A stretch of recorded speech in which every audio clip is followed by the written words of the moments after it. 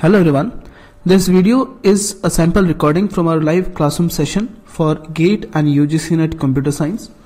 If you want to enroll for the UGC NET Plus course or the GATE Plus course, please call us on the numbers that is given in this video and you can also visit our website which is www.digimeta.com.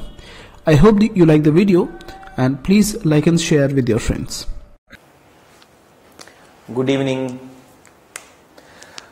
Okay, so last class में हम लोगों ने logic gates start किया था और logic gates में हम लोगों ने NAND gate NOR gate AND gate OR gate AND NOT gate study कर लिया था। ठीक है? तो आज की क्लास में हम लोग XOR and XNOR gate study करेंगे, जिसे हम क्या बोलते थे? स्पेशल गेट्स सो सबसे पहले हम लोग एक्सॉर गेट स्टडी करेंगे।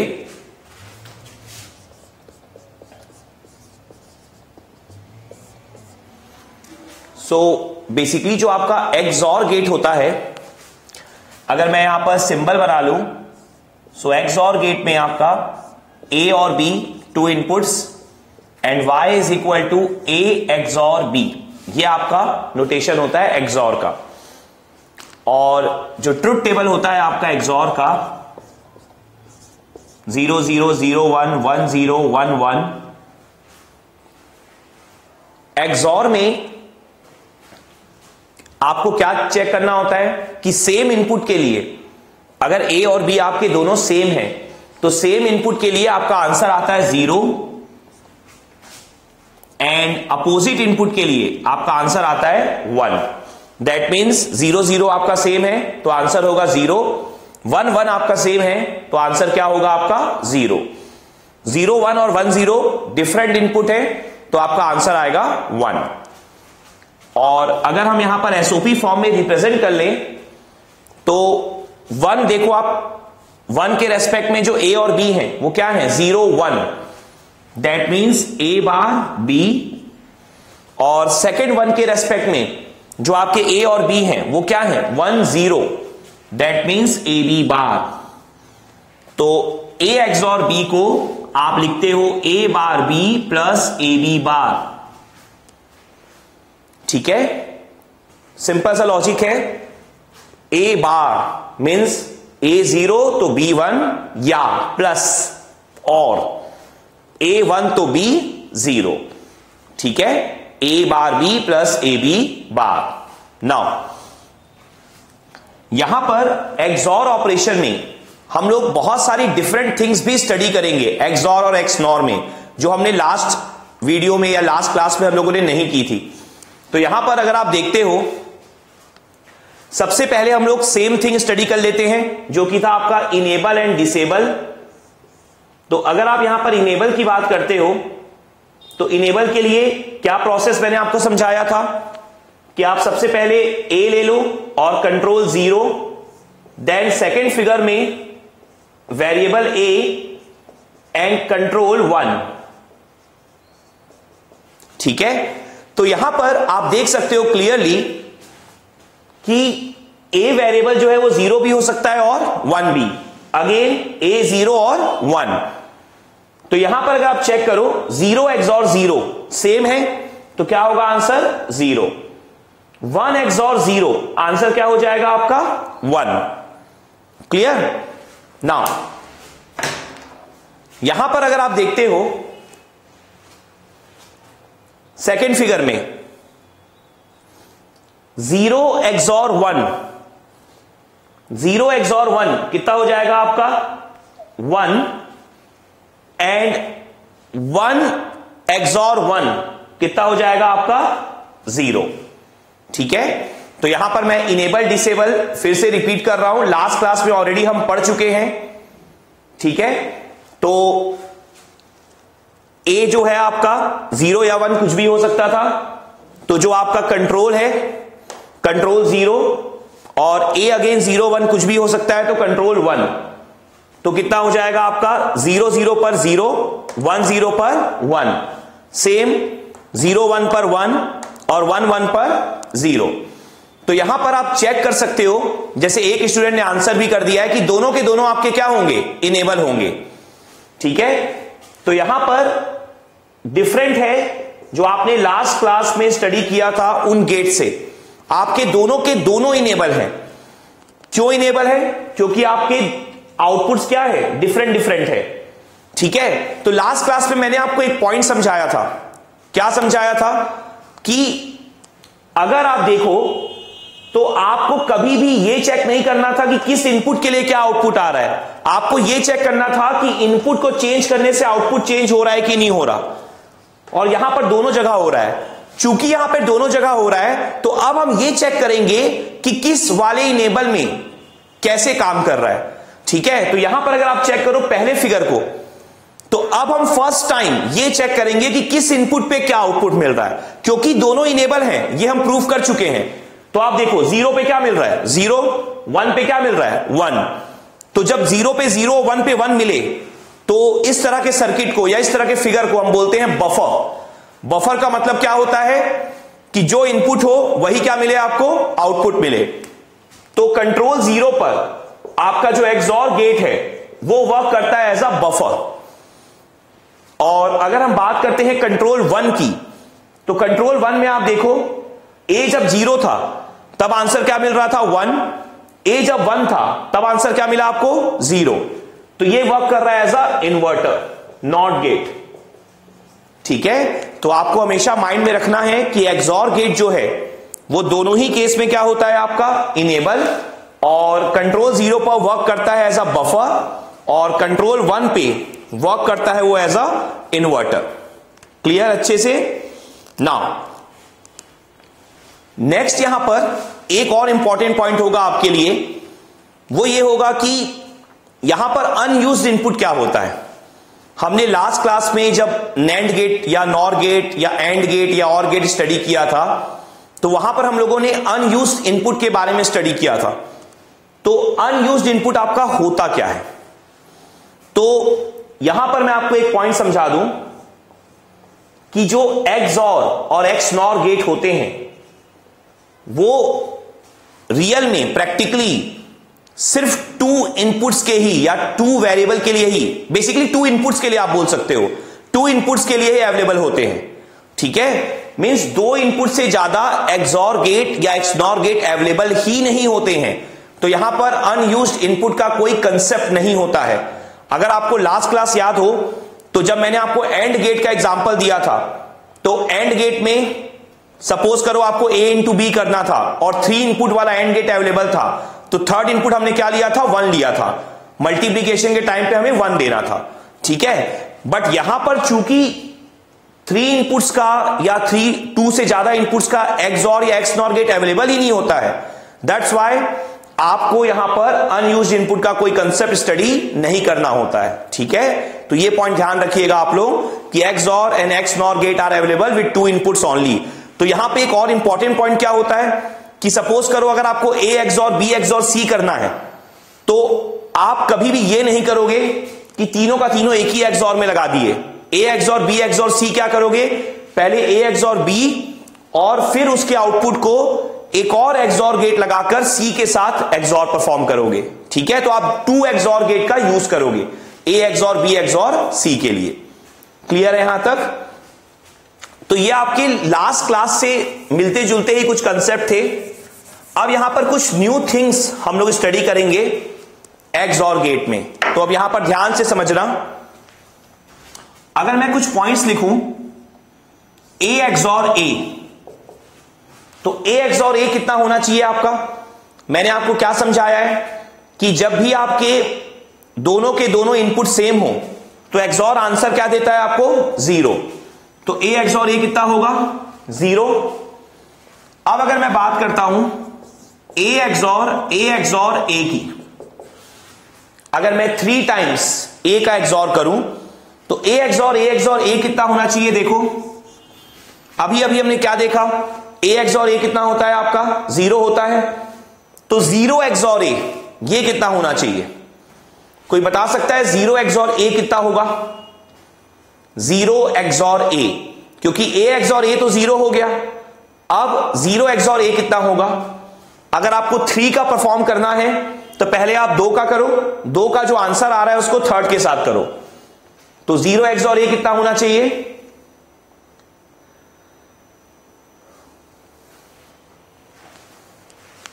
कोई बता सकता है ज़ीरो एक्सॉर ए ओके एक ने आंसर दिया है ए तो चेक कर लेते हैं हम लोग। देखो, अगर आपको ज़ीरो एक्स और ए परफॉर्म करना है, जब भी कोई वेरिएबल हो ना अभी अभी एक्चुअल में आपने किया भी हुआ है। जब आपने इनेबल डिसेबल चेक किया था तो आपने एक जगह कंट्रोल ज़ीरो लिया था और एक जगह ए लिया था। लेकिन मैं फिर से रिपीट कर रहा हूँ। ज़ीरो एक्स और ए अगर आपको करना है तो ए वेरिएबल है। ए को आप ज़ीरो भी ले सकते हो ए को आप वन भी ले सकते हो। अगर ए ज़ीरो होता ए अगर ज़ीरो होता तो zero XOR zero answer क्या आता आपका? ज़ीरो आता। और अगर ए वन होता तो one XOR zero answer क्या आता? वन आता। मतलब जो ए है, वही आपका क्या आ रहा है? आंसर आ रहा है। तो कितना हो जाएगा? ज़ीरो एक्स और ए आपका ए हो जाएगा। ठीक है? तो जब भी वेरिएबल हो तो हमेशा वेरिएबल को एक बार ज़ीरो पुट करो और एक बार वन पुट करो। और देखो आंसर क्या आ रहा है।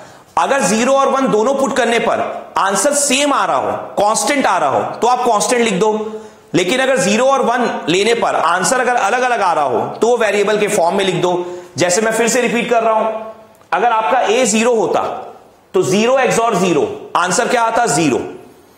मतलब ए के बराबर आया। ए अगर वन होता तो one XOR zero, answer क्या होता? वन। फिर से ए के बराबर आ रहा है। मतलब ए को ज़ीरो लेने से आंसर ज़ीरो आ रहा है और ए को वन लेने से आंसर क्या आ रहा है आपका? वन आ रहा है। मतलब ए के इक्वल आ रहा है। ठीक है नेक्स्ट अगर मैं बोलूँ ए एक्स और ए एक्स और ए एक्स और ए ये कितना होगा आपका? तो अगर आपको फोर टाइम्स करना है तो क्या करोगे पहले आप? दो का करोगे। ए एक्स और ए कितना होता है? ज़ीरो ठीक है? नाउ ए एक्स और ए अगर आपका ज़ीरो है ए एक्स और ए अगर आपका ज़ीरो है, फिर ज़ीरो एक्स और ए आपने अभी अभी निकाला, कितना होगा? ए होगा। और सिंपली अगर आप बात करो ए एक्स और ए एक्स और ए आप निकाल चुके हो ए होता है। तो ए एक्स और ए फाइनली कितना होगा वापस से? ज़ीरो ठीक है ना? आप पहले तीन का कर लो, अगर आपको चार का करना है तो। ए एक्स और ए एक्स और ए कितना निकाला आप लोगों ने? ए जो आंसर आया उसको फोर्थ के साथ करोगे तो ए एक्स और ए कितना होता है आपका? ज़ीरो होता है। ठीक है? तो यहाँ पर, अब अगर आप चेक करते हो तो जब आपने दो बार लिया, तब भी आंसर ज़ीरो आया। जब आपने फोर टाइम्स लिया, तब भी आंसर क्या आया आपका? ज़ीरो आया। तो यहाँ से एक इंपॉर्टेंट कंक्लूजन निकलता है। कंक्लूजन क्या निकलता है? कि जब आप ए एक्स और ए एक्स और ए एन टाइम्स परफॉर्म करते हो एन टाइम्स ठीक है? तो आंसर जो है आपका, वो होता है ज़ीरो वेन एन इवन और आंसर जो होता है, वो होता है ए वेन एन ऑड मतलब जैसा अगर आप यहाँ पर चेक करते हो ए एक्स और ए दो बार किए मतलब इवन नंबर ऑफ़ टाइम किए तो आंसर क्या आया? ज़ीरो। फोर टाइम्स किए मतलब इवन नंबर ऑफ़ टाइम्स किए। तो आंसर क्या आया? ज़ीरो तो देखो मैंने वही लिखा है। एन टाइम्स तो एन अगर इवन है तो ज़ीरो और देखो जब आपने थ्री टाइम्स किया मतलब ऑड नंबर ऑफ़ टाइम किया तो आंसर क्या आया? ए तो ये थ्री के लिए भी वही होगा फाइव के लिए भी होगा सेवन के लिए भी होगा नाइन के लिए भी होगा। तो जब जब आप ऑड नंबर ऑफ़ टाइम करोगे तो आंसर हमेशा आपका आएगा ए आएगा। ठीक है? तो ये एक इंपॉर्टेंट ऑब्जेक्टिव क्वेश्चन आपके लिए बन जाता है, आपको माइंड में रखना है। रटना नहीं है, आपको प्रोसेस क्लियर होना चाहिए, ठीक है? ना यहाँ पर जैसे मैं देख पा रहा हूँ, कुछ स्टूडेंट्स को वेरिएबल को करने में कुछ प्रॉब्लम आ रही है। तो मैं एक दो एग्जांपल और लेने जा रहा हूँ यहाँ पर, ठीक है? ये कंसेप्ट तो हो गया, लेकिन एक और दो एग्जांपल जैसे मान लो अगर आपको ए एक्स और वन करना है सपोज़ करो, किसी को दिक्कत है तो अच्छे से देख लो। तो मैंने आपको क्या सिखाया? जब भी वेरिएबल हो ना तो वेरिएबल को एक बार ज़ीरो लो। वेरिएबल कौन है? सिर्फ़ और सिर्फ़ ए है। वन वेरिएबल नहीं है। वन आपका कांस्टेंट है। तो ए आपका वेरिएबल है तो ए को ज़ीरो लो।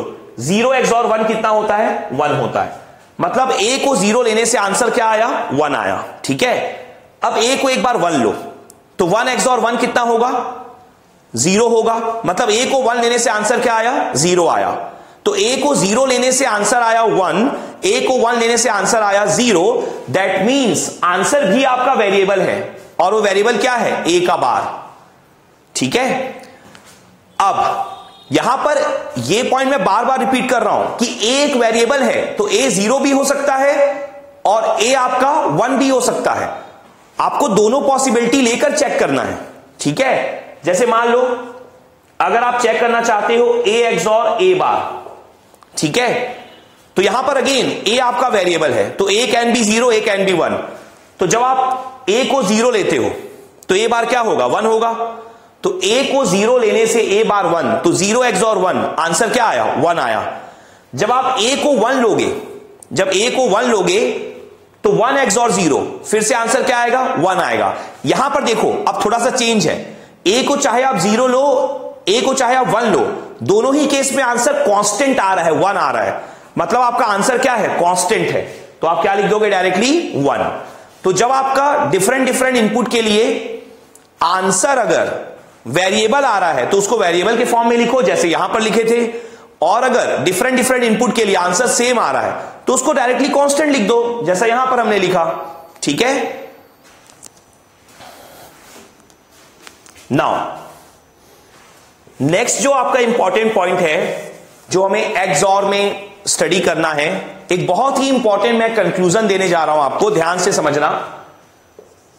मान लो ए एक्स और बी आपका सी के इक्वल है, ठीक है?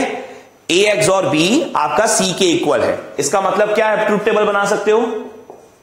Zero zero zero one one zero one one तो सी कितना हो जाएगा? ज़ीरो डबल वन ज़ीरो ठीक है? ये आपको दिया हुआ है। A XOR B equal to C तो अगर आपको यह दिया होगा तो आप और कौन कौन से कंक्लूजन लिख सकते हो? तो यहाँ पर हम देखते हैं कि अगर हमें पता हो कि ए एक्स और बी सी के इक्वल है तो हम और क्या क्या लिख सकते हैं? देखो ध्यान से। अच्छे से देखना है इसको। बी और सी को देखो बस। बी और सी को। ज़ीरो और ज़ीरो का एक्सॉर कितना होगा? ज़ीरो होगा? देख लो, यहाँ पर ए में ज़ीरो मिल रहा है। वन और वन का एक्सॉर क्या होगा? ज़ीरो होगा, देख लो ए में ज़ीरो मिल रहा है। ज़ीरो और वन का एक्सॉर, वन होगा, देखो ए में वन मिल रहा है। वन और ज़ीरो का एक्सॉर, वन होगा, देखो ए में वन मिल रहा है। इसका मतलब क्या है? कि अगर ए एक्सॉर बी सी के इक्वल है तो बी एक्सॉर सी भी ए के इक्वल होगा। ठीक है ना? बट हाँ, ये गिवन होना चाहिए कि ए एक्सॉर बी सी के इक्वल है। वैसे एक और देखो ए और सी को ध्यान से देखो आप लोग। ए और सी को। ज़ीरो और ज़ीरो का ए और सी में देखना। ज़ीरो और ज़ीरो का एक्सॉर क्या होता है? ज़ीरो। देखो, ज़ीरो मिल रहा है। मैं रिपीट ही कर रहा हूँ इसको। देखो सबके सब। ए और सी को देखो। ए और सी को। ज़ीरो और ज़ीरो का एक्सॉर कितना होता है? सेम का एक्सॉर क्या होता है? ज़ीरो देखो बी में ज़ीरो मिल रहा है। ज़ीरो और वन का। ए और सी को देखो। ज़ीरो और वन का एक्सॉर क्या होता है? वन देखो बी में वन मिल रहा है। ए और सी को फिर से देखो। वन और वन का एक्सॉर कितना होता है आपका? ज़ीरो देखो बी में ज़ीरो मिल रहा है। और लास्ट ए और सी को फिर से देखो। वन और ज़ीरो वन और ज़ीरो का एक्सॉर क्या होता है? वन देखो, आपको क्या मिल रहा है? वन तो इसका मतलब क्या है? कि ए एक्सॉर सी किसके इक्वल हो जाएगा? बी के। ठीक है? और जिसको थोड़ा डाउट रह भी गया है, वो A XOR B equal to C जो हमने लिखा है, उसका यूज़ करके एक बार चेक करके देखो B XOR C A के इक्वल आ रहा है कि नहीं आ रहा। एक बार खुद से करके देखो बी एक्स और सी करो, देखो ए के इक्वल आ रहा है कि नहीं आ रहा। ऊपर टेबल में देखो। क्लियर है बच्चे से? ठीक है गुड तो इसका मतलब क्या है कि अगर ए एक्स और बी सी के इक्वल है तो B XOR C A के इक्वल है और ए एक्स और सी बी के इक्वल है। ये ऑटोमेटिक आपको पता चल जाएगा। ये इंपॉर्टेंट है, ठीक है? अब देखो ध्यान से। एक और कंक्लूजन मिल जाता है यहाँ पर। वो क्या है? देखो, अब ध्यान से देखना आप साथ साथ चलना सबके सब। ए बी और सी तीनों का एक साथ एग्जॉर करो अब, ठीक है? तो देखो ए बी सी तीनों का एग्जॉर करते हैं। A XOR B XOR C पर ध्यान रखना, ये गिवन है ना? A XOR B equal to C आपको गिवन है। तो जब आपको तीन का एग्जॉर करना होता है ना तो पहले दो का करो और फिर जो उसका आंसर आएगा, उसको तीसरे के साथ करो।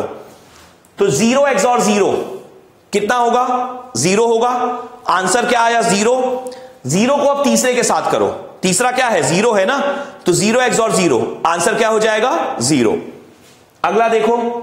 ज़ीरो और वन आंसर क्या होगा?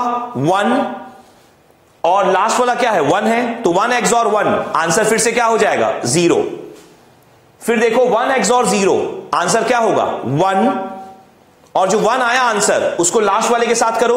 One XOR one answer क्या हो जाएगा? ज़ीरो लास्ट में देखो वन एक्स और वन कितना आया? ज़ीरो और जो ज़ीरो आया, उसको लास्ट वाले के साथ करो. Zero XOR zero answer क्या आया? ज़ीरो ठीक है ना? मैं फिर से रिपीट कर रहा हूँ, देखो. ए एक्स और बी पहले करो zero XOR zero answer क्या आया? ज़ीरो जो आंसर आया उसको थर्ड वाले के साथ करो। तो zero XOR zero answer क्या आ गया? Zero zero XOR one answer क्या आया? One one XOR one zero one XOR zero one आया? One XOR one zero one XOR one answer क्या आया? ज़ीरो आंसर को लास्ट वाले के साथ करो। Zero XOR zero answer क्या हो जाएगा? Zero that means A XOR B XOR C किसके इक्वल होगा आपका? ज़ीरो के। और ये हमेशा नहीं होगा ना। ऐसा नहीं है कि आज के बाद से आपने A XOR B XOR C लिखा उसको आपने आंसर ज़ीरो लिख दिया। ये कब ज़ीरो होगा? जब ए एक्स और बी सी के इक्वल आपको गिवन हो। तब आपकी ये तीनों की तीनों स्टेटमेंट भी फॉलो होंगी। ठीक है? तो आज से इस पॉइंट को ध्यान रखना इंपॉर्टेंट कंक्लूजन है। ना जैसा मैंने आपको स्टार्ट में बोला कि A XOR B XOR C अगर आपको परफॉर्म करना है तो आपको पहले ए एक्स और बी करना पड़ेगा, फिर उसके आंसर को सी के साथ करना पड़ेगा। मींस अगर आपको थ्री वेरिएबल का एग्जॉर करना है तो एक ही एग्जॉर गेट का आप यूज़ नहीं कर सकते, क्योंकि प्रैक्टिकली जो एग्जॉर गेट अवेलेबल होते हैं, वो विथ टू इनपुट्स ओनली होते हैं, ठीक है? तो अब मैं आपको थ्री इनपुट थ्री इनपुट हम बोल नहीं सकते एक्चुअल में। थ्री वेरिएबल एग्जॉर गेट या एग्जॉर ऑपरेशन आपको शो करता हूँ। तो अगर हमें थ्री वेरिएबल्स का एग्जॉर ऑपरेशन शो करना है तो यहाँ पर आप देखो zero zero zero zero zero one zero one zero zero one one one double zero one zero one one one zero one one one ठीक है? तो हमने आज की क्लास के स्टार्ट में टू वेरिएबल्स का एक्सॉर ऑपरेशन देखा था कि ज़ीरो ज़ीरो पर ज़ीरो आता है ज़ीरो वन पर वन वन ज़ीरो पर वन वन वन पर ज़ीरो अब हम थ्री वेरिएबल्स के लिए ट्रुथ टेबल बना रहे हैं। ठीक है? तो सेम प्रोसेस है कि पहले आप दो का करो, जो आंसर आएगा उसको तीसरे के साथ। ठीक है? तो आप लोग भी साथ साथ करते चलो इसको। ज़ीरो ज़ीरो का क्या आएगा? ज़ीरो तो फिर से जो आंसर आया तीसरे के साथ करो तो ज़ीरो ज़ीरो का क्या हो जाएगा? ज़ीरो। नेक्स्ट ज़ीरो ज़ीरो का ज़ीरो। जो आंसर आया उसको तीसरे के साथ करो तो कितना आंसर आ जाएगा आपका? वन। देन ज़ीरो, वन का वन। वन, ज़ीरो का वन। ध्यान रखना, जो दो का आंसर आएगा उसको थर्ड वाले के साथ करना है। ज़ीरो, वन का वन। देन वन वन का ज़ीरो ठीक है? वन ज़ीरो का वन वन ज़ीरो का वन वन ज़ीरो का वन वन वन का ज़ीरो वन वन का ज़ीरो ज़ीरो ज़ीरो का ज़ीरो वन वन का वन और वन वन का फिर से वन ठीक है? तो हमेशा दो का करो। जो दो का आंसर आएगा उसको तीसरे के साथ कर दो। ठीक है? एक स्टूडेंट ने पहले ही आंसर कर दिया था और बिल्कुल करेक्ट भी है वो। ठीक है? तो zero one one zero one double zero one ठीक है? तो ये आपका होता है थ्री वेरिएबल का एग्जॉर ऑपरेशन यहाँ पर वैसे तो आपको रटना नहीं है, लेकिन फिर भी स्टिल अगर आप देखोगे तो एक इंपॉर्टेंट कंक्लूजन क्या निकल कर आ रहा है? कि ऑड नंबर ऑफ़ वंस जहाँ जहाँ मिल रहे हैं। जैसे देखो, यहाँ पर। सिंगल वन था तो आंसर वन आया। यहाँ पर भी सिंगल वन था तो आंसर वन आया। जब दो वन है तो आंसर क्या आया? ज़ीरो। यहाँ पर भी एक वन था, आंसर वन आया। दो वन में फिर से ज़ीरो आया, टू वंस में फिर से ज़ीरो, थ्री वंस में फिर से वन आया। मतलब जब आपके सिंगल वन है या थ्री वंस है मतलब जब ऑड नंबर ऑफ़ वन है तो आंसर वन आ रहा है। जब इवन नंबर ऑफ़ वन है तो आंसर क्या आ रहा है? ज़ीरो। बट ऐसे याद करने की ज़रूरत नहीं है। आप सिंपली प्रोसेस परफॉर्म कर लो, आपका आंसर आ जाएगा बहुत जल्दी। नौ यहाँ पर ये जो हमारा थ्री वेरिएबल्स का एक्सॉर ऑपरेशन है, इसको आप कैसे रिप्रेजेंट कर सकते हो? देखो, अगर आप एसओपी फॉर्म में रिप्रेजेंट करना चाहते हो तो कहाँ कहाँ पर आपका वन आ रहा है? वन पर आ रहा है वन देन टू पर आ रहा है देन फोर पर आ रहा है, और सेवन पर आ रहा है। ठीक है? तो sigma M one comma two comma four comma seven. ठीक है? Sigma M sigma M one, two, four, seven. Clear है सबको अच्छे से? तो यहाँ पर ये जो नंबर हमने लिखा है, ठीक है? और डी वन वाला कंसेप्ट तो आपने देख ही लिया है। बट यहाँ पर जो हमने नंबर लिखा है, वन, टू, फोर, सेवन ये आपको ना आज से याद रखना है। ठीक है? इसका एक बहुत बड़ा रीजन है। एग्ज़ाम में ना बहुत सारे क्वेश्चन पिछले सालों में आए हुए हैं। आप चेक भी कर सकते हो last ten year fifteen years के क्वेश्चन जहाँ पर ना आपका आंसर जो है वो A XOR B XOR C या P XOR Q XOR R मतलब थ्री वेरिएबल्स का एक्सॉर है। ठीक है? तो थ्री वेरिएबल्स का एक्सॉर है तो वहाँ पर आपको एग्ज़ाम में टाइम वेस्ट नहीं करना है। जब भी आपको सिग्मा एम में वन, टू, फोर, सेवन मिलता है, किसी ऑपरेशन को परफॉर्म करते टाइम थ्री वेरिएबल्स में तो आप डायरेक्टली आंसर लिख सकते हो A XOR B XOR C ठीक है? तो ये नंबर आज से याद रखना, बारह सौ सैतालीस, वन, टू, फोर, सेवन। ये काफ़ी हेल्पफुल होगा आपके लिए। ठीक है? तो ये किसका ऑपरेशन है? थ्री वेरिएबल का एक्सॉर नाउ नेक्स्ट जो हमें अब स्टडी करना है लास्ट लॉजिक गेट वो है आपका एक्स नॉर तो यहाँ पर एक्स नॉर गेट का अगर हम सिंबल बना दें तो A B Y is equal to A XNOR B A B Y zero zero zero one one zero one one और आउटपुट होता है आपका वन डबल ज़ीरो वन कैसे होता है ये one double zero one XNOR gate है क्या? बेसिकली करता क्या है? तो एक्स नॉर गेट में जब भी आप दो इनपुट देते हो तो दोनों इनपुट अगर सेम है, अगर both the inputs are same तो आंसर वन आता है। Both the inputs are opposite then answer zero आता है। ठीक है? तो आप देख सकते हो ज़ीरो ज़ीरो पर वन आया वन वन पर क्या आया? वन ज़ीरो वन या वन ज़ीरो पर क्या आया आपका? ज़ीरो ठीक है? तो ये जो गेट है ना चूँकि ये सेम इनपुट पर वन देता है, इसलिए इसके गेट के और भी नाम होते हैं गेट ऑफ़ इक्विवेलेंस या इसे हम इक्वेलिटी डिटेक्टर के नाम से भी जानते हैं। ठीक है? तो एक्स नॉर गेट को हम गेट ऑफ़ इक्विवेलेंस और इक्वेलिटी डिटेक्टर इन नामों से भी जानते हैं। ठीक है? नाउ यहाँ पर अगर हम इसका एसओपी फॉर्म लिख लें तो आप देखो वन कहाँ पर है? वन के रेस्पेक्ट में ए और बी क्या है? Zero zero. मतलब कितना हो जाएगा? A bar, B bar. फिर लास्ट वाले वन के रेस्पेक्ट में ए और बी क्या है? One one. मींस क्या हो जाएगा आपका? ए इंटू बी तो आपका जो एक्स नॉर गेट है, उसका इक्वेशन क्या होता है? A bar B bar plus A B तो A XNOR B A bar B bar plus A B clear है यहाँ तक अच्छे से?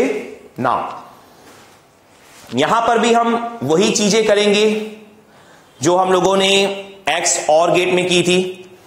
तो सबसे पहले अगर हम इनेबल और डिसेबल चेक कर लें तो आप लोग करते चलो। अब हम लोग सिक्स टाइम कर रहे हैं इस चीज़ को। कंट्रोल ज़ीरो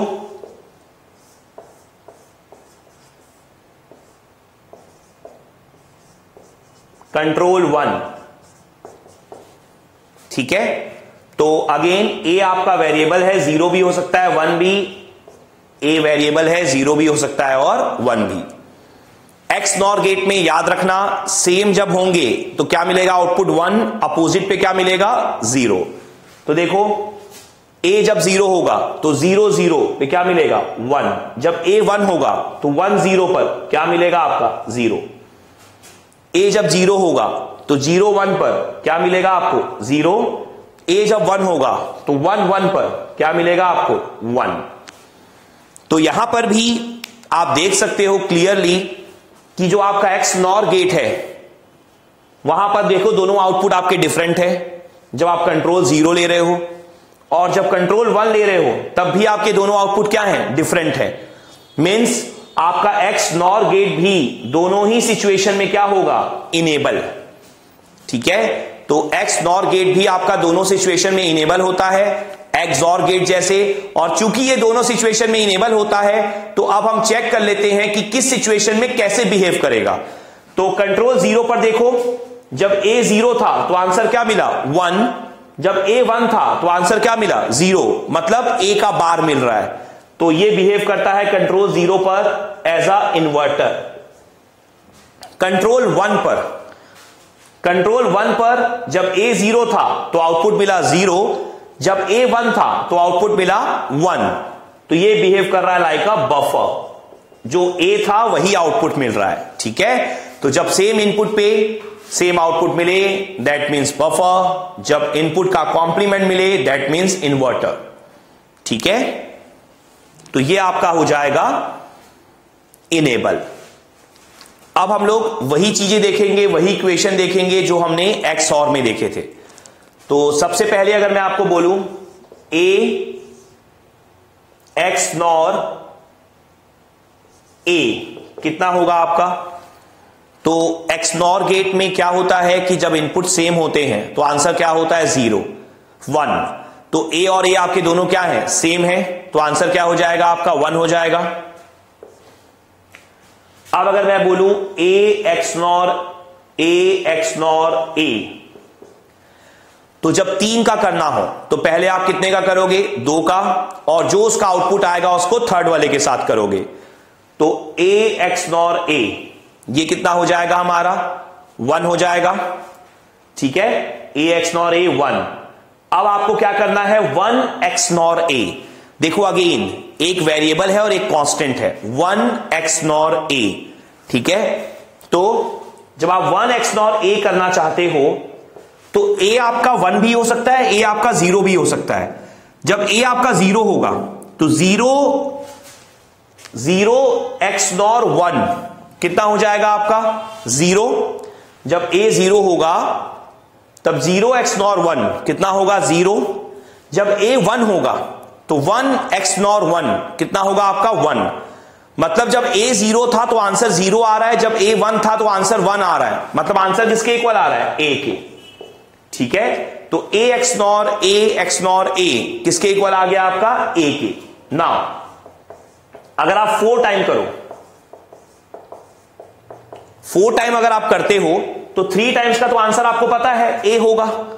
ठीक है? मतलब A XNOR A XNOR A तो ए है। अब ए एक्स नॉर ए मतलब थ्री टाइम्स का ए आ गया, अब फोर्थ वाले के साथ कर दो। तो ए एक्स नॉर ए कितना होता है आपका? वन होता है। ठीक है? तो यहाँ पर भी अगर आप कंसेप्ट देखो, फिर से एन टाइम्स वाला। तो अगर आप A XNOR A XNOR A N times करते हो तो आंसर आपका कितना आता है? वन आता है जब एन क्या होगा? इवन और ए आता है जब एन क्या होगा आपका? ऑड ठीक है? तो ये एन टाइम्स वाला कंसेप्ट है यहाँ पर भी कि जब आप XNOR operation and time perform करते हो तो आपको आंसर्स क्या क्या मिलते हैं? क्लियर है अच्छे से? नाउ नेक्स्ट फिर से वही कंसेप्ट जो हमने वहाँ स्टडी किया था। अगर मैं बोलूँ ए एक्स नॉर ए बार तो ये कितना हो जाएगा हमारा?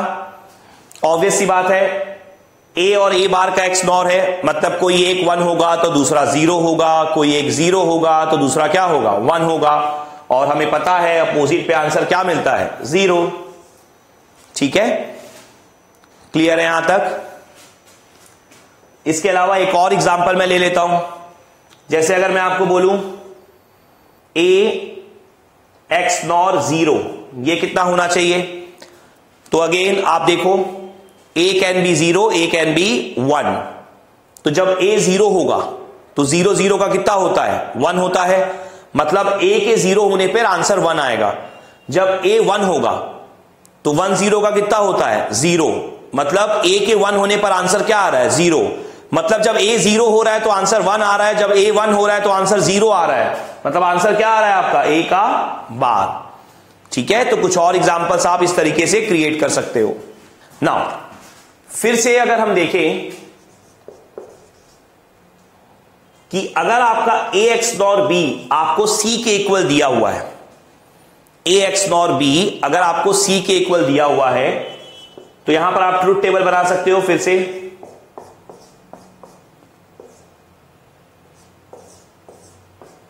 ए एक्स नॉर बी हमें किसके इक्वल दिया हुआ है? सी के। तो और कौन कौन से कंक्लूजन आपके जो हैं वो फॉलो हो जाएँगे? जब आपको A XNOR B C के इक्वल दिया हुआ है। तो ध्यान से देखो फिर से। बी और सी का एक्सनॉर करो। बी और सी का। ज़ीरो वन का एक्सनॉर क्या होगा? ज़ीरो जो कि ए में मिल रहा है। वन ज़ीरो का एक्सनॉर क्या होगा? ज़ीरो जो कि ए में मिल रहा है। ज़ीरो ज़ीरो का एक्सनॉर क्या होगा? वन जो कि ए में मिल रहा है। और वन वन का एक्सनॉर क्या होगा? वन, जो कि अगेन ए में मिल रहा है। इसका मतलब यहाँ पर भी सेम कंसेप्ट होगा कि अगर ए एक्सनॉर बी सी के इक्वल है तो बी एक्स नॉर सी किसके इक्वल होगा? आपका ए के इक्वल होगा। फिर से देखो ए और सी को देखो अब। ए और सी को फ़र्स्ट और लास्ट ज़ीरो वन का, कितना होगा? ज़ीरो जो कि बी में मिल रहा है। ज़ीरो ज़ीरो का वन जो कि अगेन बी में मिल रहा है। वन ज़ीरो का ज़ीरो जो कि बी में मिल रहा है और वन वन का वन जो कि अगेन बी में मिल रहा है। दैट मीन्स ए एक्स और सी का कितना हो जाएगा आपका? बी हो जाएगा। क्लियर है अच्छे से? एट लास्ट अगर A XNOR B C के इक्वल है तो तीनों का कितना होगा? ये भी चेक कर लेते हैं। देखो ज़ीरो ज़ीरो का कितना होता है? वन ठीक है? ज़ीरो ज़ीरो का वन, अब उसके आंसर को तीसरे के साथ करो तो वन वन का भी कितना होता है? वन। ज़ीरो वन का, ज़ीरो। देन ज़ीरो ज़ीरो का, वन। वन ज़ीरो का, ज़ीरो। देन ज़ीरो ज़ीरो का, वन। वन वन का, वन होगा, और उसका तीसरे के साथ करोगे तो वन वन का फिर से क्या होगा? वन हो जाएगा। तो इसका मतलब क्या है? कि A XNOR B XNOR C किसके इक्वल होगा? वन के इक्वल होगा। और कब वो वन के इक्वल होगा? जब आपका A XNOR B C के इक्वल होगा, तब A XNOR B XNOR C किसके इक्वल होगा? हमेशा वन के। और उसके अलावा B XNOR C A के इक्वल होगा, और ए एक्स नॉर सी आपका बी के इक्वल होगा। ठीक है? तो जैसा हमने एक्सॉर में पढ़ा था सेम आपको एक्सनॉर में भी मिल रहा है। तो यहाँ तक क्लियर है सबको अच्छे से? अब, यहाँ पर इतना स्टडी कर लेने के बाद, आप लोग मुझे बताओ कि एक्सॉर गेट या एक्सॉर ऑपरेशन और एक्सनॉर ऑपरेशन में क्या रिलेशन होता है? एक्सॉर ऑपरेशन और एक्सनॉर ऑपरेशन कोई भी कमेंट सेक्शन में लिखो। जिसको पता है एक्सॉर ऑपरेशन और x nor operation okay so हम लोग स्टडी कर रहे थे XNOR gate so basically XNOR gate में अब हम लोग three variables XNOR gate के लिए स्टार्ट करेंगे. सो so, अगर हम three variable XNOR gate की बात करते हैं ए बी सी सो यहाँ पर zero zero zero zero zero one zero one zero zero one one one double zero one zero one one one zero one one one so basically जैसा हम लोगों ने एक्सॉर गेट में किया था same हम एक्सनॉर में भी करेंगे। यहाँ पर भी हमें सेम टास्क परफॉर्म करना है। पहले हम टू के लिए करेंगे और टू का जो आंसर आएगा, उसको हम थर्ड वाले के साथ करेंगे। तो ज़ीरो ज़ीरो का क्या होता है हमारा? वन देन वन और ज़ीरो का क्या हो जाएगा आपका? Zero then again zero zero का वन एंड वन वन का वन और जो रिलेशन मैं आपसे पूछ रहा था एक्सॉर और एक्सनॉर के लिए, वो मैं आपको अब डायरेक्टली शो करने जा रहा हूँ। ठीक है? तो ज़ीरो वन का ज़ीरो वन का हमारा क्या होता है? ज़ीरो एंड ज़ीरो ज़ीरो का वन ज़ीरो वन का ज़ीरो एंड ज़ीरो वन का ज़ीरो वन ज़ीरो का ज़ीरो एंड ज़ीरो ज़ीरो का one and next one zero का क्या होता है हमारा XNOR zero and zero one का अगेन ज़ीरो वन वन का हमारा होता है वन एंड वन ज़ीरो का ज़ीरो एंड वन वन का हमारा क्या होता है one and again one one का आपका होता है वन तो यहाँ पर अगर आप ध्यान से समझोगे तो जो आपका थ्री वेरिएबल्स के लिए एक्स नॉर का रिज़ल्ट आया है, अगर आप देखोगे अगेन वन पर वन है आउटपुट टू पर वन है फोर पर वन है, और सेवन पर वन है। अगर आप एक्सॉर गेट को याद करोगे तो एक्सॉर गेट में भी जो थ्री वेरिएबल्स के लिए आपका आंसर आया था, वो आया था आपका sigma M one two four seven और एक्स नॉर गेट के लिए भी आपका आंसर आया है वन टू फोर सेवन इसका क्या मीनिंग है? कि थ्री वेरिएबल्स के लिए XOR operation is equal to XNOR operation है. तो A XOR B XOR C is always equal to A XNOR B XNOR C ठीक है? और रिलेशन में आपसे इसलिए पूछ रहा था कि हम हमेशा टू वेरिएबल्स के लिए कॉलेजेस में पढ़ते हैं। तो हम हमेशा ये याद रख लेते हैं कि एक्सॉर जो है वो एक्स नॉर का कॉम्प्लीमेंट होता है, या एक्स नॉर एक्सॉर का कॉम्प्लीमेंट होता है, जबकि वो सिर्फ़ टू वेरिएबल्स के लिए रिलेशन है। थ्री वेरिएबल्स के लिए दोनों के दोनों आपके इक्वल होते हैं। टू वेरिएबल्स के लिए क्या था हमारा रिज़ल्ट टू वेरिएबल्स के लिए एक्सॉर क्या था आपका? Zero double one zero but XNOR क्या था हमारा result one double zero one तो नो डाउट टू वेरिएबल्स के लिए एक्सॉर और एक्सनॉर क्या है? कॉम्प्लीमेंट है। लेकिन थ्री वेरिएबल्स के लिए दोनों क्या है आपके लिए? सेम। तो बेसिकली यहाँ बात टू और थ्री वेरिएबल्स की नहीं है। अगर आप इवन नंबर ऑफ़ वेरिएबल्स लोगे तो हमेशा वो कॉम्प्लीमेंट होंगे। और अगर आप ऑड नंबर ऑफ़ वेरिएबल्स लोगे तो ऑलवेज एक्स और एक्स नॉर इक्वल होंगे।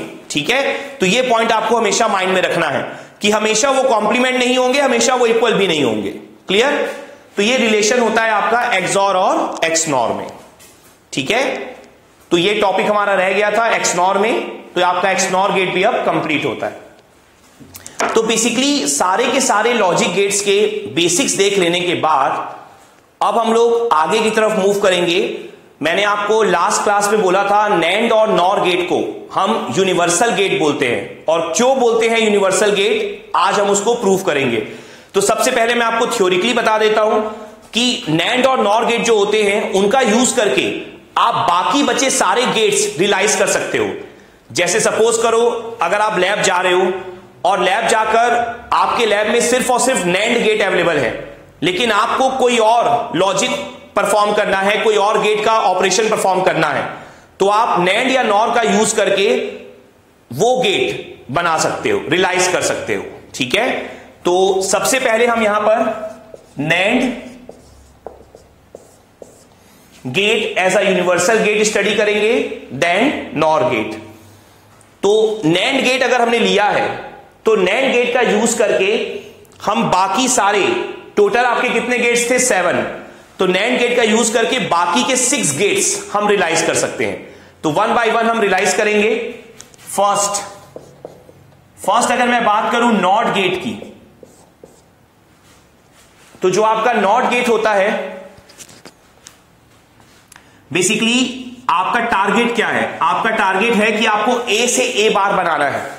ठीक है? यहाँ पर एक और इंपॉर्टेंट पॉइंट है, जो हमारे एग्ज़ाम में क्वेश्चन आते हैं या जो हमारे सिलेबस में है, आपको सिर्फ़ और सिर्फ़ ना two input NAND gate allowed है।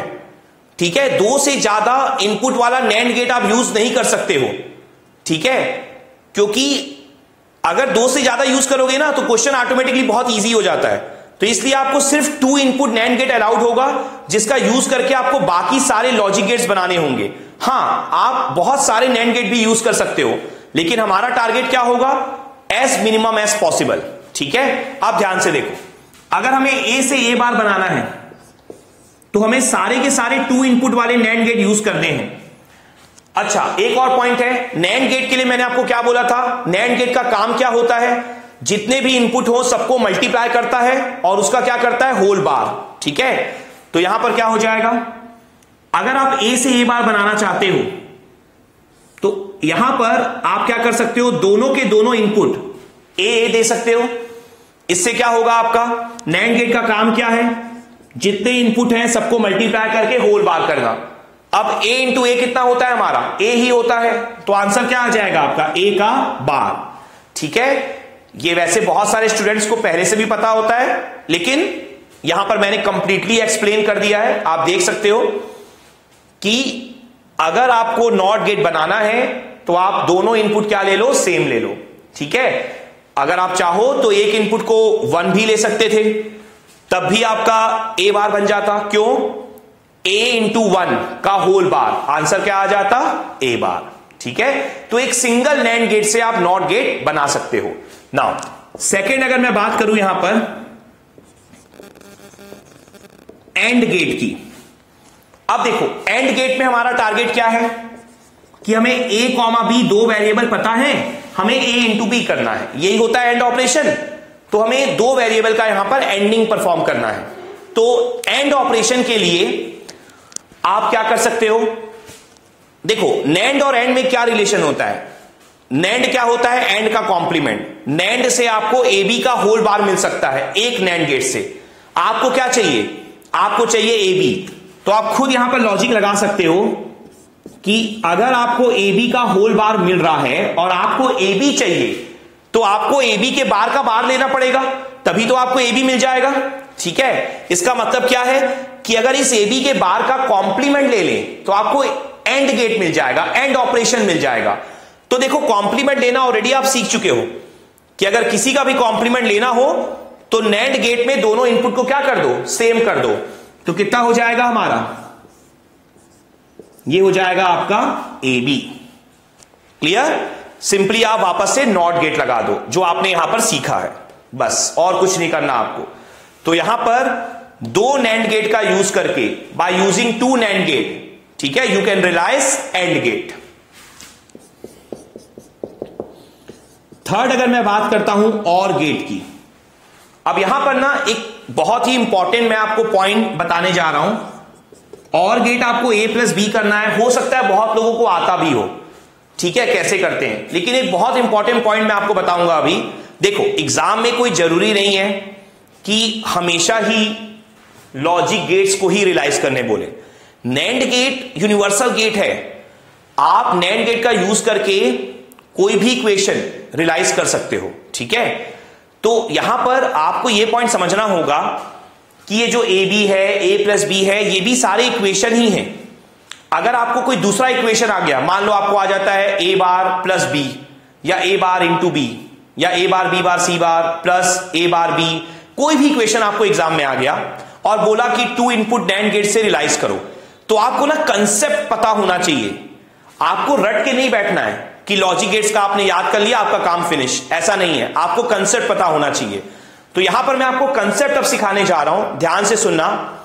जैसे आपको ए प्लस बी करना है, ठीक है? अब यहाँ पॉइंट को समझना बिल्कुल लेमैन लैंग्वेज में कि नैंड गेट का काम क्या है? नैंड गेट का काम है मल्टीप्लाई करना। उसके बाद होल बार करना। ठीक है? तो नैंड गेट का काम चूँकि मल्टीप्लाई करना है, इसलिए नैंड गेट में आपको कोई भी प्लस का साइन नहीं दिखना चाहिए। मतलब नैंड गेट के थ्रू जो इक्वेशन आप रिलाइज करने वाले हो, उसमें आपको प्लस का साइन नहीं दिखना चाहिए, क्योंकि नैंड गेट का काम क्या है? मल्टीप्लाई करना। ठीक है? तो जब भी प्लस का साइन दिख रहा होगा, जैसे यहाँ पर दिख रहा है तो सबसे पहले आप क्या करो, उस प्लस के साइन को रिमूव कर दो। और प्लस के साइन को रिमूव हम कैसे कर सकते हैं? प्लस के साइन को डॉट में मल्टीप्लाई में कैसे कन्वर्ट कर सकते हैं? By using De Morgan's only ठीक है? लेकिन हम ज़बरदस्ती का तो बार लगा नहीं सकते।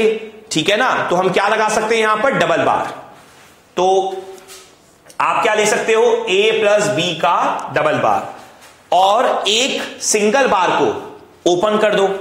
तो ऊपर वाले बार को एज इट इज़ रहने दो, नीचे वाले बार को ओपन कर दो डी मॉर्गन से तो कितना हो जाएगा आपका? ए बार इंटू बी बार ठीक है? तो ये क्लियर है सबको अच्छे से? पॉइंट ये नहीं है कि हमने डबल बार लिया और ये लिख लिया। पॉइंट ये है कि ऐसा किया क्यों हमने? ऐसा इसलिए किया, मैं फिर से रिपीट कर रहा हूँ। नैंड गेट का काम मल्टीप्लाई करना होता है। कोई भी इक्वेशन जो आप नैंड गेट से रिलाइज करना चाहते हो, उसमें प्लस का साइन आपको नहीं दिखना चाहिए। दैट्स इट जैसे अगर आप ए बी को देखो, जो एंड ऑपरेशन था वो ए इंटू बी था। वहाँ पर प्लस का साइन नहीं था तो हमने कोई चेंजेस नहीं किए। हमने डायरेक्टली रियलाइज़ करने की कोशिश की। लेकिन अगर आपको कोई प्लस का साइन दिखेगा तो पहले आप डबल बार लगा के प्लस के साइन को रिमूव कर देना। यह प्रोसेस ध्यान रखना। इससे आपको कोई भी न्यूमेरिकल आ जाए सॉल्व करने में काफ़ी आसानी होगी। ना अब आप इसको रिलाइज कर दो। क्या हो जाएगा हमारा ये? आपको क्या क्या बनाना है? देखो ए का बार बनाना है बी का बार बनाना है, फिर आपको ए बार और बी बार को आपस में मल्टीप्लाई करके उसका क्या करना है? होल बार करना है। तो ए बार और बी बार को अगर मल्टीप्लाई करके होल बार करना है मतलब क्या बनाना है आपको वापस से? नेंड ही बनाना है। तो कितना हो जाएगा आपका? ए बार बी बार का होल बार आंसर कितना आ जाएगा? और ऑपरेशन ए प्लस बी ठीक है? तो आपने पहले इस फॉर्म में लिखा, उसके बाद आप फिगर बना सकते हो। तो टोटल आपको three two inputs NAND gate लगेंगे। जब आप और गेट बनाओगे by using NAND gate now अब अगर मैं यहाँ पर बात करता हूँ नेक्स्ट नॉर गेट की, आप नॉर गेट भी बना सकते हो। बाय यूजिंग नैंड गेट तो नॉर गेट क्या होता है आपका? ए प्लस बी का बार। ये बहुत इजी है। देखो, आपने और बना लिया है ना? और क्या होता है? ए प्लस बी बस और का कॉम्प्लीमेंट कर दो, आपका नॉर आ जाएगा। तो क्या हो जाएगा? ये जो और वाला फिगर है, उसको वापस से कॉपी कर लो। तो मैं यहाँ पर सिंबल वाइज लिख रहा हूँ। और इस वाले का क्या कर दो बस आप? कॉम्प्लीमेंट और कॉम्प्लीमेंट करना हमें आता है। हमने सीख रखा है। तो कितना हो जाएगा आपका? ए प्लस बी का बार। तो अगर आपको नॉर बनाना है तो नॉर के लिए आपको लगेंगे total four four two inputs NAND gate ठीक है? तो ये आपके बेसिक फोर थे। NOT AND OR AND NOR XOR और एक्सनॉर में थोड़ा सा एक्स्ट्रा हमें पढ़ना है। पर पहले यहाँ तक देख लो। यहाँ तक सबको क्लियर है? अगर क्लियर है तो यस लिखो कमेंट सेक्शन में। नेक्स्ट अब मैं मूव कर रहा हूँ एक्स और और एक्स नॉर की तरफ़। ठीक है? तो ये जो आपका एक्स और है एक्स और का इक्वेशन क्या होता है? मैं आपको बता चुका हूँ A bar B plus A B bar ठीक है? ये आपका इक्वेशन होता है एक्स और का। ठीक है? तो बेसिकली नॉर के लिए जो एक स्टूडेंट ने बोला रिपीट करने के लिए नॉर में कुछ नहीं करना है और पहले बना लो और के लिए कितने चाहिए थे? थ्री नॉर क्या होता है? और का कॉम्प्लीमेंट तो बस एक कॉम्प्लीमेंट लगा दो नॉट गेट तो कितने चाहिए होंगे? फोर ठीक है? और और के बाद कॉम्प्लीमेंट नॉर बन गया. ठीक है? नाउ अगर हम बात करते हैं एक्स और की तो एक्स और में जो हमारा इक्वेशन होता है, वो होता है A bar B plus A B bar तो यहाँ पर जैसा मैंने आपको अभी तरीका सिखाया है कि नैंड का काम क्या होता है मल्टीप्लाई करना. तो जब भी आपको कोई प्लस का साइन दिखे तो पहले उस प्लस के साइन को क्या कर दो आप? रिमूव कर दो. ठीक है?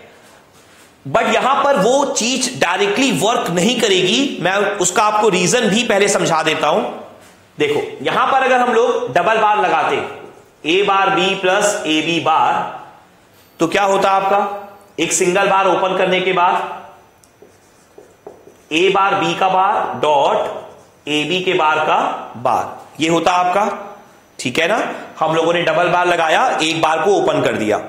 तो प्लस डॉट में कन्वर्ट हो गया और दोनों के इंडिविजुअल बार हो गए। ठीक है?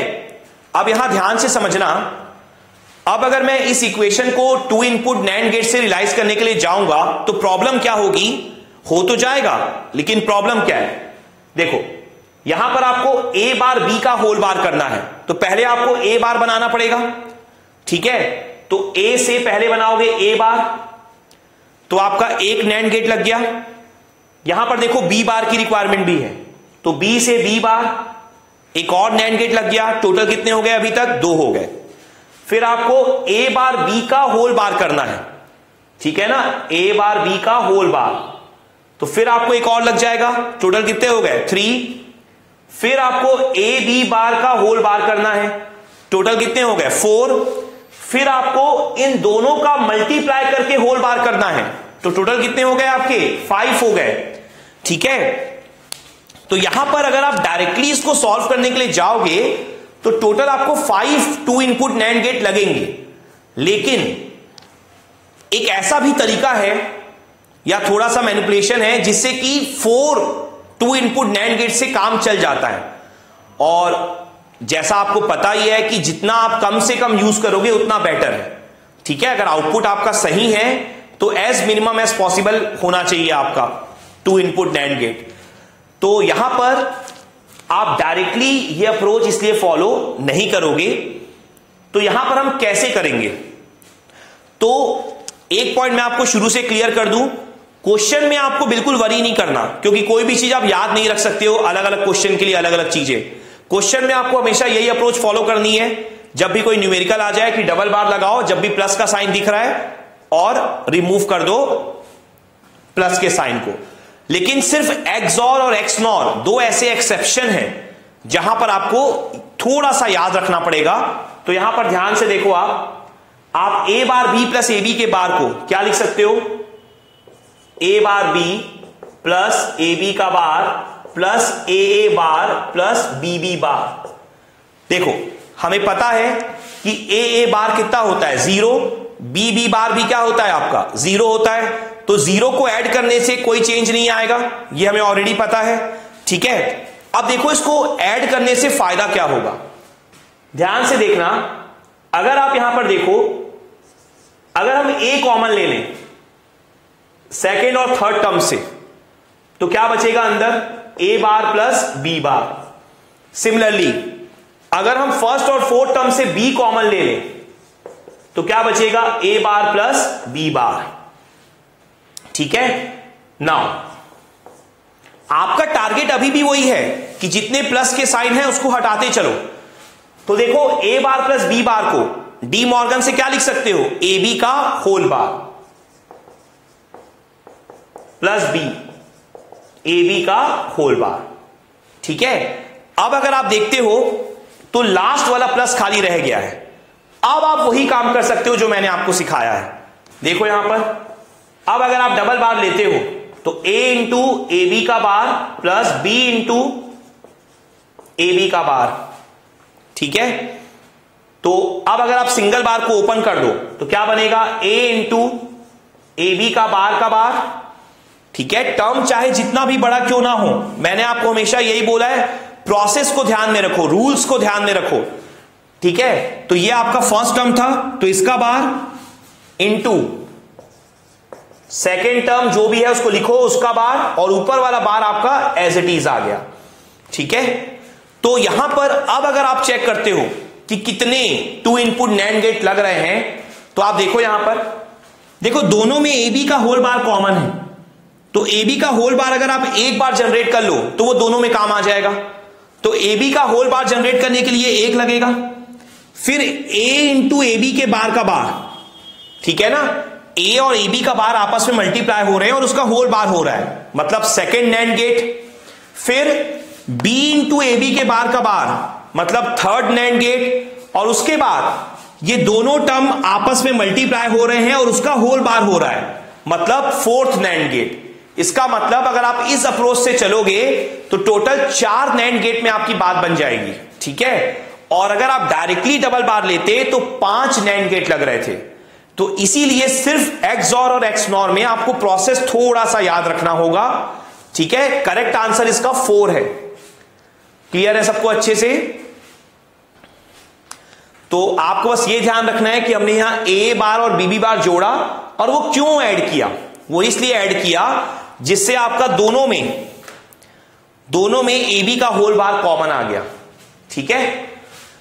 नाउ इसके बाद अब अगर मैं एक फिगर बना दूँ आपके लिए तो आप देख लो। ये जो आपका फिगर है, पहले आपको क्या जनरेट करना है? ए बी का होल बार उसके बाद ए इंटू ए बी के बार का बार मतलब ए इंटू ए बी के बार का बार फिर बी इंटू ए बी के बार का बार, और फिर हो जाएगा आपका ये दोनों टर्म का मल्टीप्लाई और होल बार क्लियर है अच्छे से? तो इस तरीके से आपका टू इनपुट नैंड गेट से रिलाइज हो जाएगा एक्सॉर ऑपरेशन या एक्सॉर गेट ठीक है? और ये जो फिगर है ये अभी आपको वरी नहीं करना है कि माइंड में कैसे रखें, क्योंकि आगे जाकर जब हम कॉम्बिनेशनल सर्किट स्टडी करेंगे तो ये इतनी बार यूज़ होगा ए एक्स और बी का टू इनपुट नैंड गेट कि आपको ऑटोमेटिकली आपके माइंड में बैठ जाएगा ये। ठीक है? तो यहाँ तक सबको क्लियर है अच्छे से? टू इनपुट नैंड गेट से एक्सॉर ऑपरेशन टोटल आपके फोर नैंड गेट लगेंगे। नाउ यहाँ पर अगर नेक्स्ट में बात करूँ लास्ट ऑपरेशन जो कि है एक्स नॉर एक्स नॉर में टू इनपुट के लिए एक्स और और एक्स नॉर में क्या रिलेशनशिप होता है आपका? टू इनपुट के लिए एक्स नॉर जो होता है एक्स और का क्या होता है आपका? कॉम्प्लीमेंट होता है, ये हमें ऑलरेडी पता है। तो आपको बस कुछ नहीं करना, जैसे और का कॉम्प्लीमेंट नॉर था ना, वैसे ही आप एक्सॉर पहले बना लो। तो एक्सॉर आप बना लो पहले ए बी आपका एक्सॉर बन जाएगा। और एक्सॉर का क्या कर दो? कॉम्प्लीमेंट कॉम्प्लीमेंट कैसे करते हो आपको है नॉट गेट कैसे करना है आपको? तो बस एक्सॉर का जो भी आंसर आएगा, उसको कॉम्प्लीमेंट कर दो। आपका क्या बन जाएगा? एक्स नॉर ठीक है? तो total five two input NAND gate आपके लगेंगे। क्लियर है सबको अच्छे से? तो एक्स और के लिए फोर और एक्स नॉर के लिए फाइव क्योंकि टू इनपुट के लिए एक्स और और एक्स नॉर क्या होते हैं आपके? कॉम्प्लीमेंट होते हैं। ठीक है? सबको यहाँ तक क्लियर है? ओके कुछ क्वेश्चन हम लोग कर लेते हैं यहाँ पर। ठीक है? टू इनपुट नैंड गेट से रिलेटेड जैसा अभी तो हम लोगों ने स्टैंडर्ड लॉजिक गेट्स स्टडी किए हैं। ठीक है? इसको आप लोग जनरली याद भी कर लेते हो कि इतने नैंड गेट लगेंगे। लेकिन जब कोई क्वेश्चन आ जाए तो वहाँ आप याद नहीं कर सकते ना, कोई भी क्वेश्चन आ सकता है। तो कुछ क्वेश्चन हम लोग करते हैं यहाँ पर। सपोज़ करो फ़र्स्ट क्वेश्चन है आपका Y A comma B comma C comma D A B bar C D ठीक है? ये कोई इक्वेशन आपको लिखा हुआ है। और आपको बोल रहा है कि इस इक्वेशन को आप रिलाइज करो टू इनपुट नैंड गेट से। Clear so two input NAND gate से अगर आपको रिलाइज करना है तो हम लोग कैसे कर सकते हैं? तो मैं यहाँ पर आपको ना एक प्रोसेस समझाऊँगा, उसको अच्छे से समझना। देखो, मैंने जब आपको गेट लॉजिक गेट को रिलाइज करना सिखाया टू इनपुट नैंड गेट से तो मैंने आपको क्या बताया है? कि अगर आपको सिर्फ़ और सिर्फ़ मल्टीप्लीकेशन का साइन दिख रहा होगा, सिर्फ़ और सिर्फ़ अगर मल्टीप्लीकेशन का साइन दिख रहा होगा तो आपको कोई भी चेंजेस नहीं करने हैं। लेकिन अगर आपको प्लस का साइन दिख रहा होगा तो चूँकि नैंड गेट प्लस नहीं करता है नैंड गेट मल्टीप्लीकेशन करता है, इसलिए पहले आप प्लस के साइन को रिमूव कर दोगे। तो यहाँ पर आप देखो, यहाँ पर आपको सारे के सारे मल्टीप्लीकेशन के साइन दिख रहे हैं, कोई भी आपको प्लस का साइन नहीं दिख रहा। तो आपको कोई चेंज नहीं करना है, आपको डायरेक्टली रिलाइज करना है, ठीक है? और किससे रिलाइज करना है? टू इनपुट नैंड गेट से। तो मैं पहले आप लोगों के लिए फिगर बनाता हूँ रिलाइज करता हूँ, आप लोग कमेंट सेक्शन में बताना कि राइट है कि रॉन्ग है, ठीक है? ध्यान रखना टू इनपुट नैंड गेट से ही रिलाइज करना है, ठीक है? अब आप लोग बताओ कि राइट है कि रॉन्ग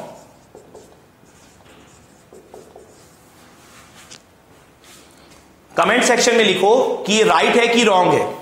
हमें टू इनपुट नैंड गेट से इस इक्वेशन को रिलाइज करना था। A B bar C D को। आंसर करो आप लोग। कि ये जो मैंने रियलाइज़ किया है क्या वो राइट right सॉल्यूशन है कि रॉन्ग सॉल्यूशन है? ओके okay, एक स्टूडेंट ने किया है कि नो नैंड गेट ठीक है इसलिए रॉन्ग है। और कोई? राइट है कि रॉन्ग है ये? देखो जनरली सभी बोल रहे हो रॉन्ग है अब। जनरली देखो, हम यही सोचते हैं कि रॉन्ग है, लेकिन ये रॉन्ग नहीं है। अब समझो क्यों? देखो, जब आप कोई थ्योरी पढ़ते हो तो क्यों पढ़ते हो थ्योरी ताकि आप उस थ्योरी को पढ़ने के बाद, उस कंसेप्ट को सीखने के बाद, जब आप न्यूमेरिकल करो तो उस कंसेप्ट को डायरेक्टली अप्लाई कर पाओ। ठीक है? क्लियर है अच्छे से? तो यहाँ पर, जैसे फॉर एग्जांपल एक और एग्जांपल लो। जैसे मान लो आप साइन एक्स का डिफ्रेंशिएशन कॉस एक्स होता है। तो आप जब एग्ज़ाम में साइन एक्स का डिफ्रेंशिएशन कहीं यूज़ करते हो तो डायरेक्टली कॉस एक्स लिखते हो ना? साइन एक्स का डिफ्रेंशिएशन वापस से डिराइव तो नहीं करते हो कि कॉस एक्स होता है? तो यहाँ पर आप क्यों डिराइव करने के लिए जा रहे हो? यहाँ पर आपको पता है कि आपको ए बी बार सी डी इन सबको मल्टीप्लाई करना है। ठीक है? आपको पता है कि कोई भी प्लस का साइन नहीं दिख रहा है। मतलब आपको इक्वेशन में कोई चेंजेस नहीं करने हैं, ठीक है? अब देखो, अगर आपको बी से बी बार बनाना है तो कितने टू इनपुट नैंड गेट चाहिए आपको? एक। ये पता है हम लोगों को, हम ऑलरेडी पढ़ चुके हैं थ्योरी में। उसके बाद बी से बी बार बनाने के बाद, अगर आपको ए इंटू बी बार करना है, ठीक है? तो उसके लिए एंड ऑपरेशन परफॉर्म करना है, जिसके लिए कितने नैंड गेट चाहिए? दो। उसके बाद ए बी बार को अगर सी से मल्टीप्लाई करना है तो फिर से कितने? नैंड गेट चाहिए होंगे। दो, क्योंकि एक एंड ऑपरेशन परफॉर्म करना है। और फिर ए बी बार सी को अगर डी से मल्टीप्लाई करना है तो फिर से कितने नैंड गेट चाहिए होंगे? दो। तो ये तो ऑलरेडी हम पढ़ चुके हैं ना। तो इसको दोबारा से हम क्यों बनाए? एग्ज़ाम में हम क्यों टाइम वेस्ट करें अपना? हमें आंसर पता है। नॉट गेट के लिए एक चाहिए एंड गेट के लिए टू टू टू तो आंसर कितना हो जाएगा? सेवन अब देखो राइट है कि रॉन्ग बस आपको यह पॉइंट माइंड में अच्छे से बैठा लेना है कि जब भी नैंड गेट से रिलाइज करो तो प्लस का कोई साइन नहीं दिखना चाहिए। सारे डॉट के साइन दिखने चाहिए। अगर डॉट के साइन दिख रहे हैं तो आप कोई चेंजेस करो ही मत। एज इट इज़ आप उसको रिलाइज कर दो। और फिर जो आपने थ्योरी पढ़ ली है कि एंड गेट के लिए दो नैंड गेट चाहिए या नॉट गेट के लिए एक नैंड गेट चाहिए, बस वो नंबर लिख लो। बार बार उस चीज़ को बनाओ मत। ठीक है? क्लियर है? क्लियर है अच्छे से सबको? एंड गेट के लिए हमें दो नैंड गेट चाहिए होते हैं। ठीक है ना? पहले आप ए बी का बार बनाते हो और फिर एक नॉट करके ए बी बना लेते हो। क्लियर तो तीन एंड गेट यूज़ किए थे तो थ्री इंटू टू सिक्स और एक नॉट गेट यूज़ किए थे तो सेवन सबको क्लियर है अच्छे से? तो देखो, अगर आप ध्यान से समझोगे थ्योरी को तो आपको कंसेप्ट जो न्यूमेरिकल के हो काफ़ी इजी लगेंगे। ठीक है? नाउ नेक्स्ट क्वेश्चन मैं आपको फिर से दे रहा हूँ, एक और क्वेश्चन करा रहा हूँ आपके लिए। अब देखो नेक्स्ट क्वेश्चन है हमारा ए प्लस बी या ए बी ले लो। A B plus C D ठीक है? अब हमें ना इसको रियलाइज़ करना है। A B plus C D को। अब मैं आपको क्या बोल रहा हूँ? बार बार रिपीट कर रहा हूँ। क्यों रिपीट कर रहा हूँ? ताकि आप सीख जाओ। कि नैंड गेट में कभी कोई प्लस का साइन नहीं दिखना चाहिए। और जब भी प्लस का साइन दिखेगा, पहले आप उस प्लस के साइन को क्या कर दोगे? रिमूव तो A B plus C D इसका मतलब क्या होगा? सबसे पहले आप उस प्लस के साइन को रिमूव करोगे और रिमूव करना मैं आपको ऑलरेडी सिखा चुका हूँ। कैसे रिमूव करते हैं? डबल बार लगा के। डबल बार लगाओ और एक सिंगल बार को ओपन कर दो। तो कितना बचेगा? ए बी का बार डॉट सी डी का बार का बार क्लियर तो जब आप ना रिमूव करोगे ना प्लस के साइन को तब वो ऑटोमेटिकली ही नैंड के फॉर्म में ही आ जाएगा, जब भी आप डबल बार लेके एक बार को ओपन करोगे। ठीक है? उस समय आपको डायरेक्ट रिलाइज नहीं करना है। उस समय जो फॉर्मेट आया है, उसके हिसाब से आप कर सकते हो आप। देखो एक क्या आया है? ए बी का बार एक क्या आया है? सी डी का बार और एक क्या आया है? ए बी का बार इंटू सी डी के बार का बार मतलब कितने लगे? थ्री ठीक है? तो एक आया आपका ए बी का बार एक आया हमारा सी डी का बार, और एक हमारा कितना आएगा? ए बी का बार इंटू सी डी का बार का bar. That means A B plus C D ठीक है? तो टोटल आपके थ्री नैंड गेट्स लगेंगे. क्लियर है सबको अच्छे से? तो ये क्वेश्चन तो हमारा हो गया. ठीक है? ये वाला क्वेश्चन हो गया. एक और मैं अभी आपको क्वेश्चन कराऊँगा. लेकिन ये क्वेश्चन हो गया। इस क्वेश्चन पर एक और इंपॉर्टेंट चीज़ है, जो मैं आपको भी सिखाऊँगा। मान लो, मैं आपको बोलूँ कि इस A B plus C D वाले इक्वेशन को आप नॉर्मली एंड और गेट से रियलाइज़ कर दो। ठीक है? नैंड गेट से नहीं करना आपको। आप नॉर्मली जो गेट लग रहे हैं डायरेक्टली एंड लग रहा है तो एंड और लग रहा है तो और आप डायरेक्टली रियलाइज़ कर दो। तो कैसे करोगे? ए बी बना लोगे पहले। फिर क्या बना लोगे आप? सी डी तो ये कितना हो जाएगा? ए बी सी डी और दोनों का क्या है आपका? और तो हो जाएगा A B plus C D ठीक है? ये क्वेश्चन यही था मेरा कि आप जो ये इक्वेशन है उसको एंड गेट और और गेट से रिलाइज कर दो। हमने कर दिया। ठीक है? अब मैंने ऐसा क्यों किया? हम तो टॉपिक पढ़ रहे हैं नैंड गेट वाला। तो ध्यान से समझना इस A B plus C D को मैंने पहले नैंड गेट से रिलाइज किया, फिर same A B plus C D को मैंने और और एंड गेट से रिलाइज किया। यहाँ पर देखो, ये देखो जो फ़र्स्ट स्टेज है। फ़र्स्ट स्टेज मतलब जो एक साथ आप ऑपरेशन परफॉर्म कर रहे हो, दो दो नैंड गेट का। फ़र्स्ट स्टेज में आपने नैंड यूज़ किया इस फिगर में और इनके आउटपुट्स को वापस से नैंड में लगाया। मतलब फ़र्स्ट स्टेज में नैंड और सेकेंड स्टेज में वापस से नैंड और यहाँ पर देखो ऊपर वाले फिगर में फ़र्स्ट स्टेज में आपने एंड ऑपरेशन परफॉर्म किए और सेकेंड स्टेज में क्या परफॉर्म किया? और ऑपरेशन दोनों का रिज़ल्ट सेम आया है. इसका क्या मतलब है? इसका यह मतलब है कि अगर आप नैंड के बाद नैंड करोगे तो वो ऑलवेज इक्वल होता है एंड के बाद और करने के. तो ये एक इंपॉर्टेंट ऑब्जेक्टिव क्वेश्चन बनता है NAND NAND realisation is equal to AND OR realisation ठीक है? मैं फिर से रिपीट कर रहा हूँ। यहाँ पर आपने फ़र्स्ट स्टेज में क्या किया? एंड फ़र्स्ट स्टेज मतलब दोनों काम आप एक साथ कर रहे थे ना? ए बी और सी डी और इनके आउटपुट्स को आपने कहा दिया? और में। तो फ़र्स्ट स्टेज में एंड फिर और यहाँ पर फ़र्स्ट स्टेज में नैंड सेकेंड स्टेज में अगेन नैंड ठीक है? तो यह आपका हो जाएगा NAND NAND realisation is equal to AND OR realisation clear अच्छे से? सबको? लास्ट क्वेश्चन नैंड गेट से रिलेटेड देखो, y is equal to A plus B into C bar plus D bar ठीक है? A plus B into C bar plus D bar C का bar है और साथ साथ डी का बार है. ठीक है? अब इसे ना हमें रिलाइज करना है बाय यूजिंग नैंड गेट ठीक है? आप लोगों को मैं एग्जैक्टली वन मिनट का टाइम दे रहा हूँ।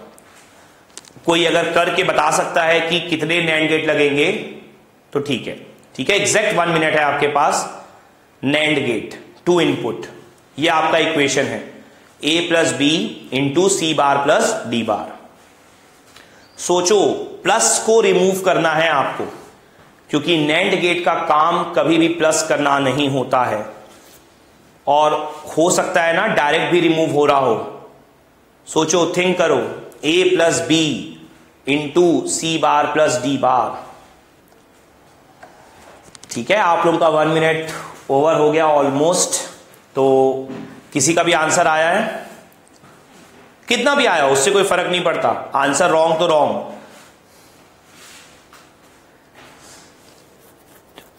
किसी का नहीं आया अभी तक? तो देखो ध्यान से फिर।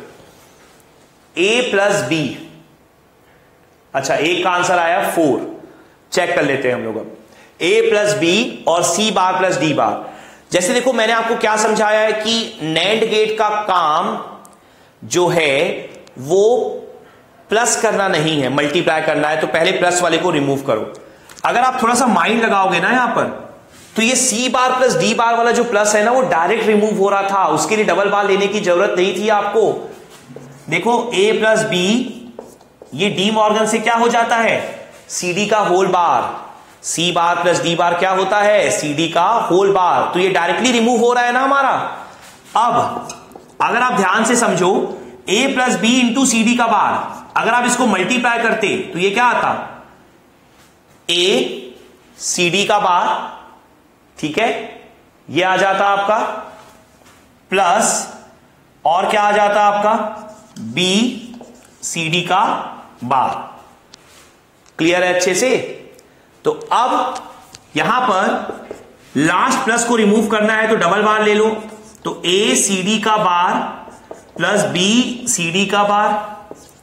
अब यहाँ पर अगर सिंगल बार को ओपन करते हो तो ए सी डी का बार का bar, dot B C D के बार का बार। ठीक है? तो यहाँ पर अब आप चेक करो कितने लगेंगे। ठीक है? हमने सारा काम फिनिश कर लिया यहाँ पर। तो देखो सीडी का बार बनाना होगा सबसे पहले आपको। सीडी के बार के लिए कितने लगेंगे? वन। ठीक है? सीडी के बार के लिए आपको एक लगेगा। उसके बाद ए इंटू सीडी के बार का बार कितने हो गए? दो। बी इंटू सी डी के बार का बार, तीन। फिर ये जो आपके दो, जो आपके दो टर्म है, दोनों मल्टीप्लाई हो रहे हैं और होल बार हो रहा है तो आंसर कितना हो जाएगा? फोर हो जाएगा। ठीक है? देखो, आप किसी और तरीके से करोगे तो हो सकता है सिक्स भी आंसर आ जाए, एट भी आ जाए, लेकिन अगर फोर से बात बन सकती है तो करेक्ट आंसर आपका फोर होगा, क्योंकि मिनिमम नंबर आपको बताना था। ठीक है? तो फोर आपका बिल्कुल करेक्ट आंसर है। क्लियर है सबको अच्छे से? तो सबसे पहले देखो C bar D bar C D का होल बार डायरेक्ट हो गया। फिर मैंने क्या किया इसको? मल्टीप्लाई ठीक है? उसके बाद लास्ट वाले प्लस को हटाने के लिए हमने डबल बार ले लिया। दोनों में सीडी का बार कॉमन था तो एक बार जनरेट कर लो।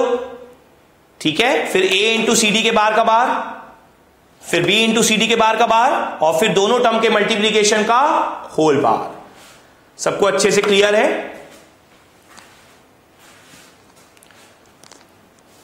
ठीक है? तो ये आपका NAND gate as a universal gate यहाँ पर फिनिश होता है, ठीक है? तो आज की क्लास में यहीं स्टॉप कर रहा हूँ। नेक्स्ट क्लास में हम nor gate as a universal gate पढ़ेंगे और कुछ क्वेश्चंस भी सॉल्व करेंगे लॉजिक गेट्स के ऊपर। और क्वेश्चन सॉल्व करेंगे, ठीक है? तो आज की क्लास में यहीं स्टॉप कर रहा हूँ। Okay thank you